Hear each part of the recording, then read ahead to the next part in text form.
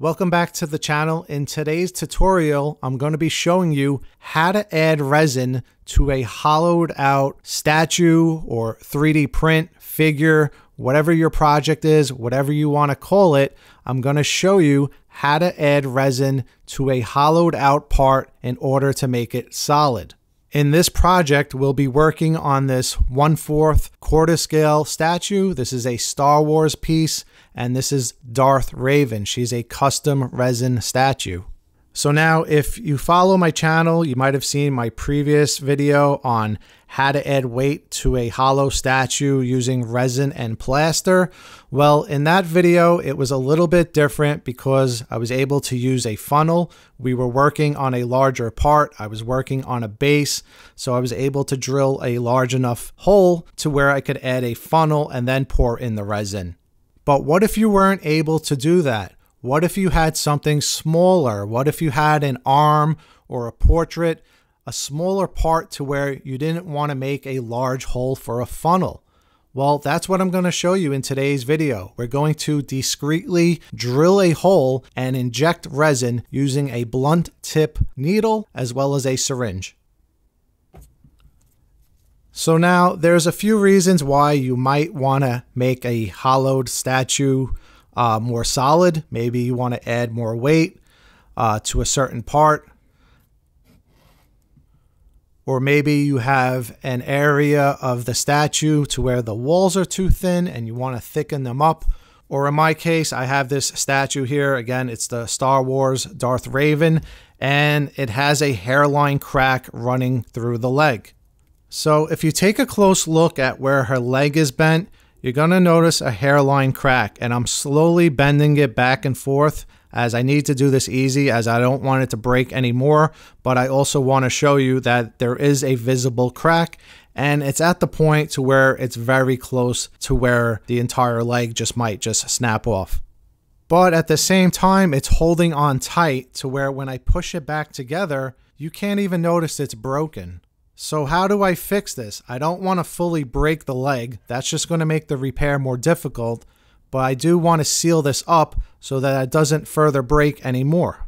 And I can barely pull it apart enough to where I feel comfortable trying to add some glue in there and hopefully that the glue would hold it together. So I'm not going to try to add glue because I just I don't think I can pull it open enough to where I can add glue and then close it back together. So that's not an option. Being that we can't fix it from the outside, we can, however, fix it from the inside. And that's when today's tutorial comes into place. We're going to inject resin onto the inside and we're going to make the leg fully solid. That way it seals up internally and it will seal the entire statue solid and we don't have to worry about any future breaks.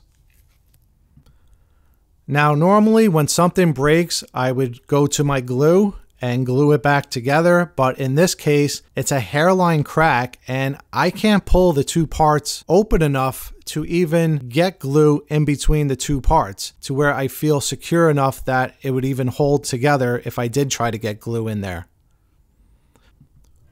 The resin will fully seal everything from the inside. The outside closes up very nice and tight so there's no visible lines and everything will be fully solid and we won't have to worry about this breaking again in the future.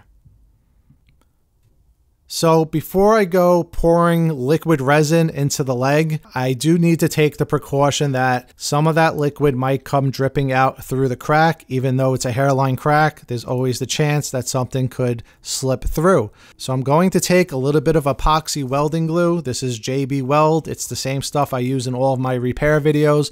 And I'm going to slightly seal the crack from the outside before we go injecting resin onto the inside. It's a two part epoxy, so I'm just taking equal halves from each tube. You mix them together, stir it, and I'm just lightly dabbing it onto the outside of the hairline crack as uh, uh, not to cover up any of the textures, but I just want to slightly seal it from anything leaking through.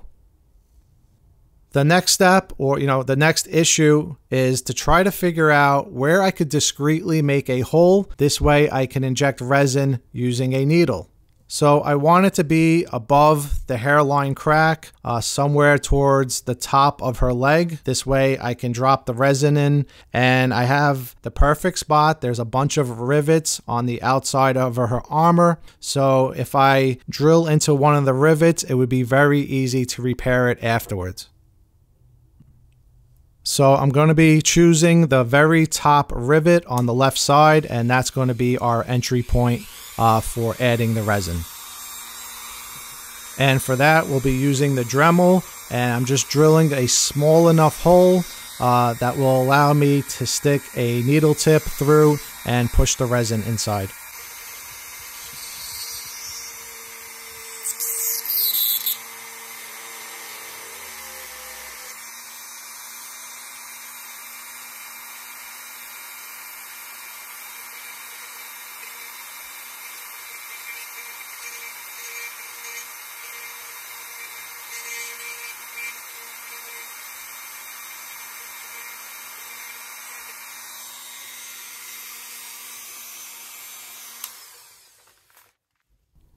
So here's a look at the hole we drilled and I'm just taking a piece of metal uh, wire and poking it through into the leg. I just want to double check that the leg is hollow. I want to make sure everything is clear and out of the way on the inside before I go pushing liquid resin onto the inside of the leg and everything feels good. Everything feels nice and hollow on the inside. So we can move on to the next step of uh, getting the syringe and needle ready for the resin. Okay, so this is basically a 30 millimeter uh, syringe, and then I'm using a blunt tip needle. I believe it's a 16 so maybe an 18 gauge uh, needle tip. You want to make sure you have a large enough needle to where you're able to push resin through. Uh, resin is a little bit on the thick side, so you definitely want something thick enough that it'll allow the liquid to flow through the needle tip but at the same time, you want to use something small enough that you don't want to create a big enough hole when you have to drill into the part. I'm using a two-part casting resin, so you basically want to use something that's going to dry very quickly. This specific resin uh, has a working time of two and a half minutes and then it fully cures in 10 to 15 minutes. For this project, we need to swoosh it around on the inside, so you want something that is fast drying. This way it dries up right away. It's a one to one mix ratio, so you're basically mixing equal halves from each container. And the plan here is to actually mix it inside of her leg and swoosh it around uh, because it does cure so quickly. I don't want to mix it ahead of time and then try to inject it afterwards. So first I'm going to inject part A, which is the clear looking one. And then afterwards I'll be injecting part B, which uh, is the one that has more of a brownish tint to it. And then we'll be swooshing it around in her leg and hopefully everything cures nice and solid.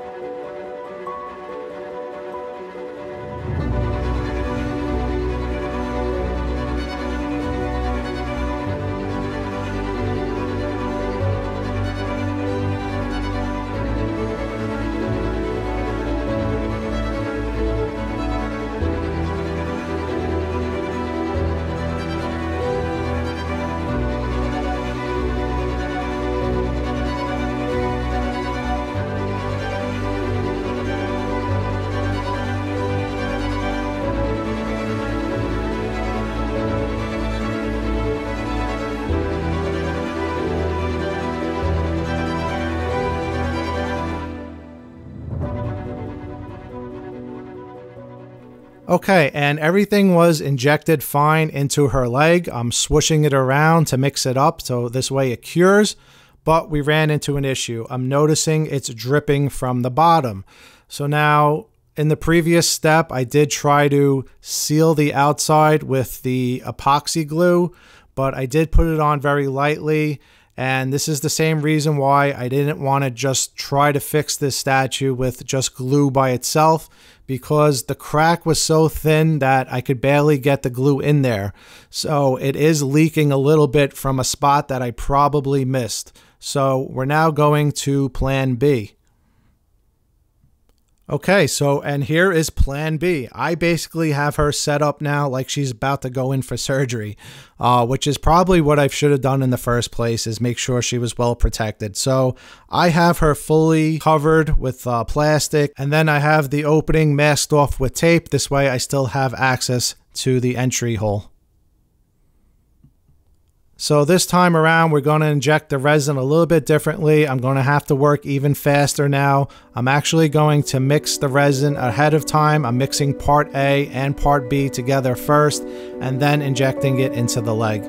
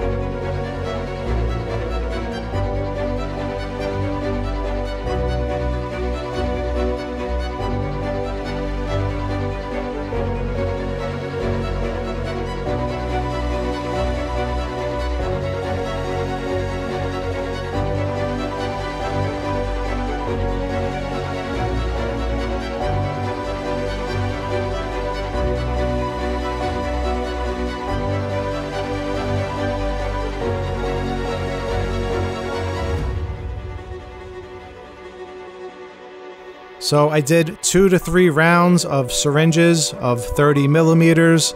Uh, I got it about right up to above where the hairline crack was, but obviously we don't want to go too high as it'll come spilling back out of the entry hole.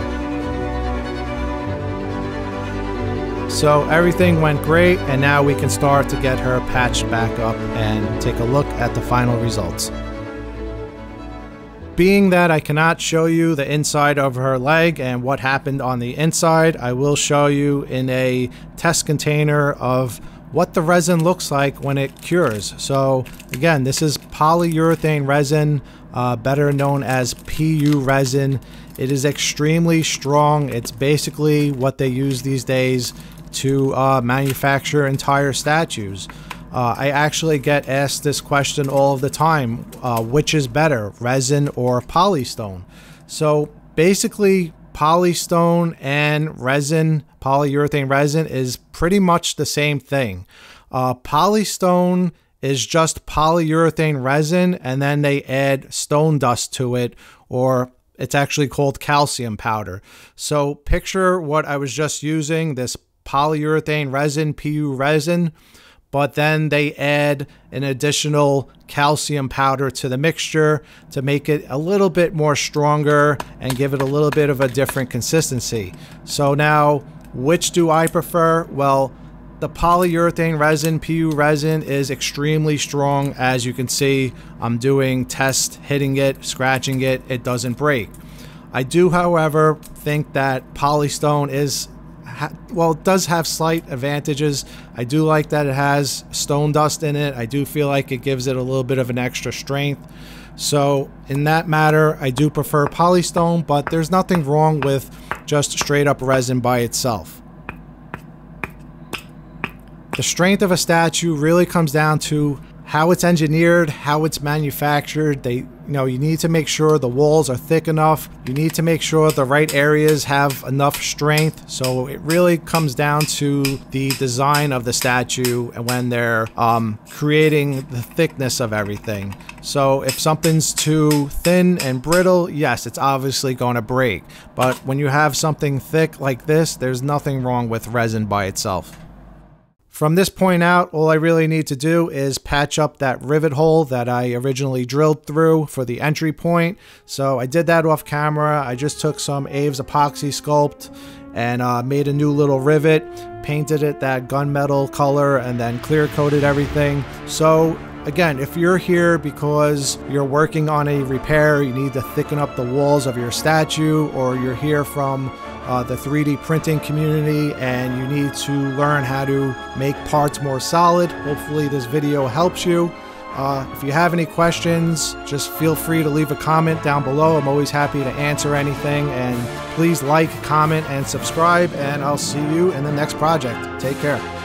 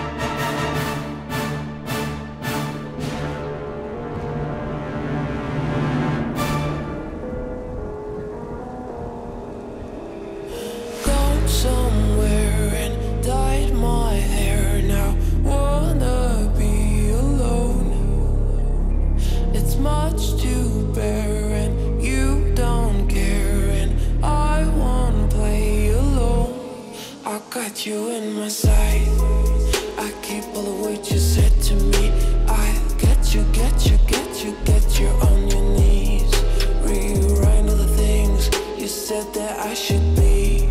I'll get you, get you, get you, now you